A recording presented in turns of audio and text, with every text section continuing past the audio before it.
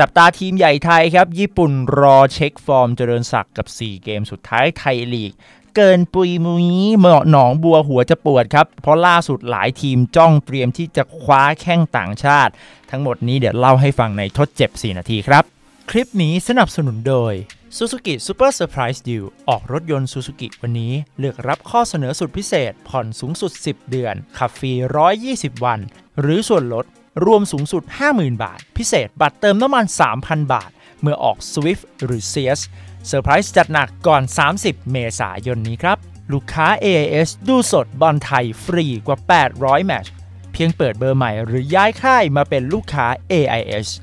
ไปเริ่มกันที่ข่าวดีของแฟนเคี้ยวสมุทรก่อนเลยนะครับ เตรียมนับถอยหลังครับ ต้อนรับเจ้าชายปราการอย่างแท้จริง เจริญศักดิ์วงกรครับ ปีกขวาตัวความหวังของทีมที่เจ็บหมอนรองกระดูกเข่าด้านขวาฉีก ในเกมที่พบกับราชบุรีตั้งแต่เดือนตุลาคมปีที่แล้วนะครับ จนต้องผ่าตัดแล้วก็พักฟื้นยาวถึง 5 เดือนเต็ม ล่าสุดน้องเท่น้องรักได้โพสต์ข้อความลงบน Facebook ส่วนตัวนะครับว่า ผมรอวันนี้มา 4 เดือนกว่า วันที่จะได้คืนสนามอีกครั้ง มันเป็นการพบหมอที่มีความสุข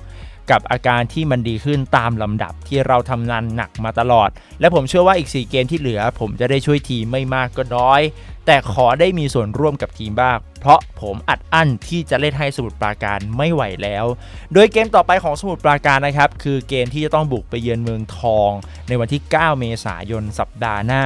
หากทัพเคียวสมุทรยังหวังจะรอดตกชั้นได้เนี่ยนะครับจะต้องชนะให้ได้ทั้ง 4 เกมที่เหลือ เก็บ 12 แต้มเต็มให้ได้ แล้วค่อยไปลุ้นทีมนี้ตกชั้นทีมอื่น ที่มีเกมแข่งน้อยกว่าปราการ 1 เกมนะครับ ส่วนตัวเนี่ย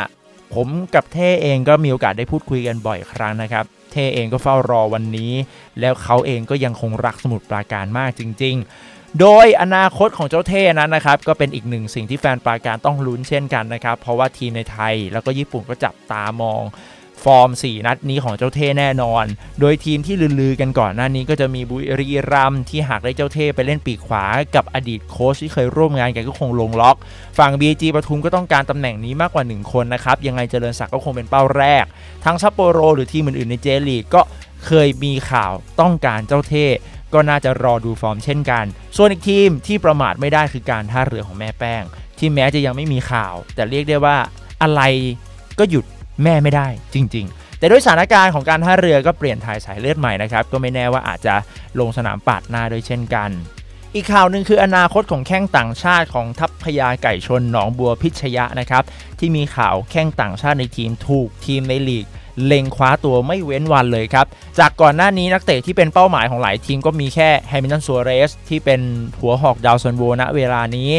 ที่มีปัญหาเรื่องของการต่อสัญญาที่ยังไม่มีความคืบหน้านะครับ และแม้แฮมิลตันจะออกมาบอกว่าเจ้าตัวต้องการอยู่ที่นี่ แต่หากตกลงค่าเหนื่อยไม่ได้ ยังไงก็คงไม่พ้นทีมใหญ่ในลีกแน่นอน ส่วนนักเตะคนอื่นที่เริ่มมีข่าวนะครับ ก็มีแอร์ตัน ติราบาสซี่กองหลังตัวเก่งของทีมนะครับ ก็มีข่าวว่า 1 ทีมใหญ่อยากได้แบบแพ็คคู่กับแฮมิลตันแข้งต่างชาติอีกคนที่ประมาทในเรื่องของการย้ายทีมไม่ได้นั่นคือมาห์มูดดาฮัดดา นะครับปีกตัวจี๊ดชาวปาเลสไตน์โคตาเอเชีย ที่ทำไปแล้ว 3 ประตู 3 แอสซิสต์ในช่วงเลกที่ 2 เพราะการเป็นโควตาเอเชียที่เล่นได้เหมือนโควตาต่างชาติขนาดนี้นี่โอ้โหสำคัญจริง ๆ ครับ ส่วนฝั่งของบาลอสทาเดลี่ที่ดูเหมือนจะย้ายนะครับอาจจะเป็นคนที่มีโอกาสสูงที่อยู่ต่อครับหากคุยค่าเหนื่อยได้ลงตัว เพราะหลายทีมอาจจะเข็ดกับนักเตะรายนี้เหมือนกันจากกรณีดราม่าที่เคยมีข่าวกับการท่าเรือนะครับ หลังจบซีซั่นนี้ครับทีมงานของหนองบัวก็คงต้องทำงานกันวุ่นเลยครับ ในการตกลงค่าเหนื่อย ทั้งแข้งต่างชาติแถมยังมีแข้งไทยรอต่อสัญญาด้วย แต่แต่แต่ถ้าทัพพยาไก่ชนคว้าตั๋วไปเล่น ACL ได้ล่ะ ก็อาจจะเป็นตัวช่วยที่สามารถดึงแข้งต่างชาติเหล่านี้ต่อสัญญากับทีมได้ง่ายขึ้นนะครับ เพื่อนๆคิดเห็นยังไงกันบ้าง ใครเหมาะกับทีมไหนใครจะย้ายแฟนหนองบัวว่าอย่างไร ลองเลื่อนมาคอมเมนต์พูดคุยกันหน่อยละกันนะครับ ทั้งหมดนี้คือทดเจ็บ4นาทีครับ